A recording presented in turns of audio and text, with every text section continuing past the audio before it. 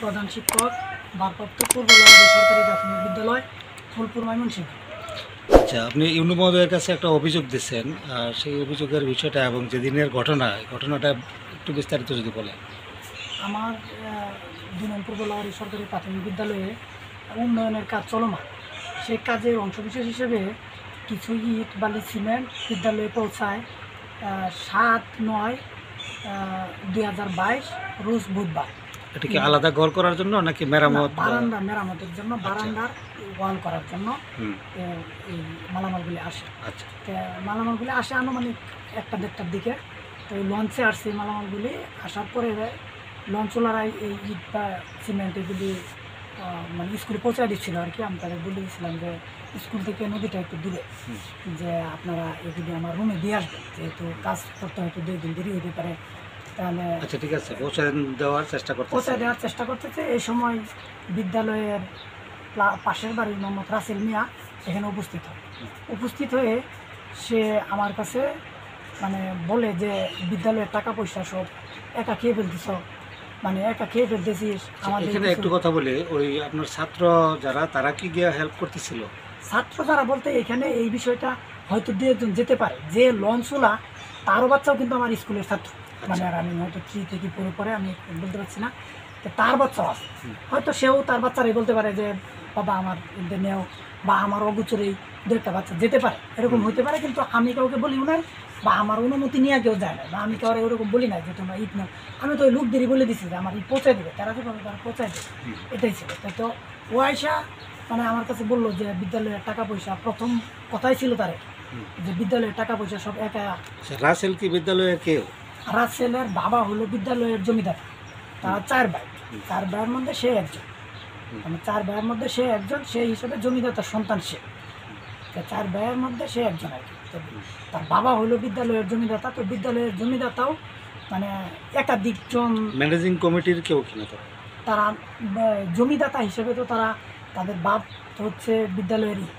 মানে জমিদাতা সেই হিসেবে তারা চার ভাই থেকে একজন তো প্রতিনিধি হিসেবে দিবে। দেবে। প্রতিনিধি হিসেবে দিবে এর আগের কমিটিতে তার এক বিদ্যুৎসাহী প্রতিনিধি জমিদাতা প্রতিনিধি হিসেবে আচ্ছা হ্যাঁ। আচ্ছা। এবং আমি তাদের সাথে কথা বলেছি যে আগের কমিটিতে ছিল। এবং চারজনকে তো আমি রাখতে পারব না।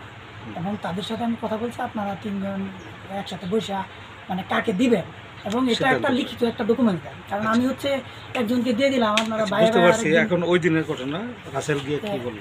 রাসেল যে আমার কাছে বলে যে বিদ্যালয়ের টাকা পয়সা সব মেরে খাইতেছে একা। এখন হচ্ছে মানে ডিরেক্টলি ইনডাইরেক্টলি সে এটা বলছে আর কি যে আমাদেরও কিছু টাকা পয়সা দেয় তুমি সব টাকা মেরে খাইতেছ এটা সেটা কাজ করতেছো না। আমি তখন তারে বলি যে মানে আমি তারে আন্তরিকতার সহিত বলি আমার চাচা হয় আমি চাচা তুমি এর কথাটা ঠিক বললাম আমার অফিস শুনে তুমি চলো। এটা বলার সাথে সাথে সে আমার কলার ধরে ফেলে পাঞ্জাবির কলার ধরে পাঞ্জাবি ছিঁড়ে ফেলে। তারপর হচ্ছে যে এই এই পর্যায়ে আমার সহকারী শিক্ষক মানে তার সাথে আমার সে মানে প্রায় নদীতেই ফেলে দিছিল আমার নদীর পাড়িতে আমি দাঁড়িয়ে গেছি আমার সহকারী শিক্ষক প্লাস হচ্ছে আমার কিছু ছাত্র প্লাস ওইখানে আরও এলাকার দুইজন ছিল আর কি তারা আমার তাদের সহযোগিতায় আমি আমার বিদ্যালয়ের রুম পর্যন্ত পৌঁছাই। তারপরে আমার বিদ্যালয়ের রুম পর্যন্ত পড়ার পরে পৌঁছার পরেও তার ছোটো ভাই এবং নাম কি? ছোটো ভাই মোহাম্মদ আন্নাস আলী রাসেল মিয়া আবার সংঘবদ্ধ হয়ে লাঠি সুটা নিয়ে মানে একবারে আমার বিদ্যালয়ের অফিস রুম পর্যন্ত গেছে। তা আমি কোনো রকম বিদ্যালয়ের দরজা আটকে ওইখানে নিরাপদে থাকি। তারপর হচ্ছে এই এলাকার কিছু লোকজনের প্লাস হচ্ছে আমার বিদ্যালয়ের ছাত্রছাত্রীদের সহযোগিতায় পরিস্থিতি নিয়ন্ত্রণ পরিস্থিতি নিয়ন্ত্রণে বলতে আমি আমার ওই সময়ই আমার অফিসে জানাই। মৌখিকভাবে প্লাস হচ্ছে ওদের সহযোগিতায় আমার বাড়িতে পৌঁছাই। তারপর হচ্ছে আমি উপজেলা স্বাস্থ্য আমি এদিকে আঘাত লাগে। ব্যথা পাই আমি উপজেলা স্বাস্থ্য কমপ্লেক্সে ট্রিটমেন্ট নিই। নিয়ে তারপর আমার উদ্যোতন অবগত করি। এখন সরকারের কাছে আপনার এই বিষয়ে কি দাবি কি চাচ্ছেন? আমি আমার কর্তৃপক্ষকে লিখিতভাবে অভিযোগ দিয়েছি উপজেলা নির্বাহী অফিসার বরাবর আমাদের শিক্ষক প্রতিনিধি সহ। আর এখন এই দাবিটা আমার একান্ন এই দাবিটা হয়ে গেছে সারা বাংলাদেশের একটা দাবি। অনেক জায়গায় মানে শিক্ষক লাঞ্ছিত হচ্ছে অপমানিত হচ্ছে। মানে কথা হলো মানুষ ভুলের ঊর্ধ্বে না। তা ভুল একজনের থাকতে পারে তার মানে তো কারও গায়ে হাত তোলার দায়িত্ব কারও নাই আমারও নাই কারণ যাই হোক না আপনি কি চাচ্ছেন? না আমি চাচ্ছি এটা সুষ্ঠু তদন্তের মাধ্যমে একটা বিচারের আওতায় এনে একটা দৃষ্টান্ত স্থাপন হোক যাতে কোনো শিক্ষকের গায়ে কেউ হাত না তুলতে পারে। আচ্ছা। এখন পরবর্তীতে আপনি ওই স্কুলে যখন আবার যাবেন আপনার কোনো সন্দেহ আছে কি না যে আবারও আপনি কোনো আক্রমণের শিকার সংখ্যা তো? রয়েছে বিভিন্নভাবে মানে আমাকে সরাসরি কেউ এভাবে হুমকি দেয় নাই কিন্তু বিভিন্ন মাধ্যমে আমার কাছে এরকম আসছে যে মানে আমি যে অভিযোগ করেছি অভিযোগ যদি আমি আমি উড্ড না করি প্রত্যাহার না করি তাহলে আমার এই সমস্যা হবে ওই সমস্যা হবে মিথ্যা মামলা দিবে। কি মানে ধরনের শুনছেন? একটু বিস্তারিত বলেন। মানে কি ধরনের শুনছি বলতে যে মানে আমার বিরুদ্ধে মিথ্যা মামলা দিবে যে ওর বিরুদ্ধে মিথ্যা মামলা দিব মানে এটাই এটাই আজকে আজকের সর্বশেষই হলো আমার বিরুদ্ধে মিথ্যা মামলা দিবে। হামলা করবে এমন কিছু বলতেছে পথে হামলা করবে বিদ্যালয়ে আমাকে কি কীভাবে আমি বিদ্যালয় করি এটা দেখবে। এরকম ধরনের কথা মানে আমার কান পর্যন্ত আসতেছে। সরাসরি কেউ আমার হুমকি দেয় নাই কিন্তু মানে বিভিন্ন মাধ্যমে এই কথাগুলি আমার কাছে আসতেছে। যাই হোক আমি এটা সুষ্ঠু তদন্তের মাধ্যমে খুব দ্রুত এদের মানে বিচারের আওতায় এনে আইনের মাধ্যমে যে বিচার দাবি করছি। তাহলে এলাকায় চলাফেরাটা আপনি কি এখন নিরাপদ মনে করতেছেন? না আমি এখন এলাকায় চলাফেরাটা পুরোপুরি নিরাপদ মনে করতেছি না। আমি যে কোনো মুহূর্তে আপনার যে উপরে? কোনো মুহূর্তে আমার উপর হামলা হইতে পারে বা আক্রমণ হইতে পারে। তা আমি আমার নিরাপত্তার জন্য আমার আহ, প্রশাসনের কাছে দাবি? প্রশাসনের কাছে দাবি জানাচ্ছি। আহ, আচ্ছা এই ধন্যবাদ আপনাকে। আপনি কিছু বলবেন? আব্দুল মজিদ। আচ্ছা আপনার বাসা? আমার বাড়ি দেহামরি নাম কি? লাওয়ারি। গ্রামের নাম কি? লাওয়ারি। লাওয়ারি। আপনি কি করেন? আমি এমনি এই এই কাজ করি কাম করি। আচ্ছা আচ্ছা। তাহলে এই ইট আপনি নিয়ে আসছেন? হ্যাঁ, আমি নিয়ে আসি আচ্ছা। আপনি কি নৌকা আছে মানে? আছে আমার। আচ্ছা। এখন ওই যেদিন ঘটনাটা ঘটছে মাস্টারের সাথে ওই রাসেল ভাইয়ের কি ঘটনাটা হয়েছিল? এটার ব্যাপারে আপনি কি জানেন। ঘটনাটা রাসেল মোটরসাইকেল লেসে আমরা ইট নামাইতেছি। আমরা ইট নামাইতেছি ইট নে- মনে করুন লঞ্চ থেকে মিলাইতেছি। হ্যাঁ হারে কইছে যে শুরু পোলাফান দেয় ইট নেওয়া হইতেছে গেলে গিয়া। তাকে হারা গেছে? কয়জনে ইট আনতেছিল? পোলা হলে মনে হয় বিশ তিরিশ জন। আর স্কুলের ছাত্র? তখন হ্যাঁ এই কথা কইতেছে আর ওই আনা- আনোয়ারে কইছে কইছে তুমি এই কথাটা কেলে এই কইলা?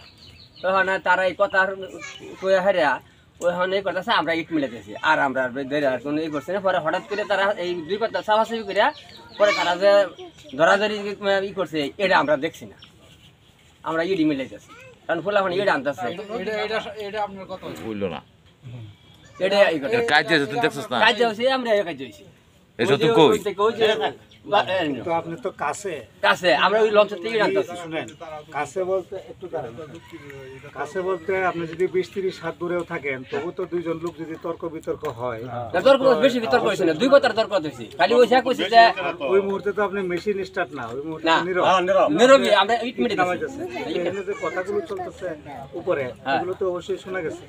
তার কথাবার্তা কই হারে তারা তার কোনো অন্য হ্যাঁ কইছে যে ই আচ্ছা, এখন এখানে যে কথা বলছে মানে অভিযোগ দিচ্ছে যে পঞ্চাশ হাজার টাকা চাঁদা দাবি করছে। হ্যাঁ। না এটা কোনো ই করছে না। এটা কি আপনি না এটা কোনো সাত হাজার কোনো করছে না। আর যখন- হাতাহাতি হয় তখন প্রথমে কি রাসেল তাকে গিয়ে ধরছে মাস্টার না মাস্টার তারে ধরছে প্রথমে? এটা এটা আমি ওই যে ইট ধরছি আমি সেদিকে খেয়াল করে চাইছি না। কিন্তু আমার ছেলের জায়গায় তারা সারাইছে আমার ছেলের লঞ্চ আছে হ্যাঁ। না গেছে গা লঞ্চ বাজার গেছে। ওইদিকে আমি ওইদিকে লক্ষ্য করছি এইটুকুই আপনি জানেন। হ্যাঁ এটুকুই আমি। কিন্তু কথা হলো যে যায় পঞ্চাশ হাজার ঘণ্টা দশ এতে কোনো সাহস হয়েছে না। আচ্ছা ওই মুহূর্তে ছাত্র ছাত্রী এমনি আশেপাশে যারা আছে এরকম? ওই মুহূর্তে অন্য ছাত্র ছাত্রী আনছে দেলোয়ার হোসেন। একটু সোজা হয়ে পড়েন হয়ে।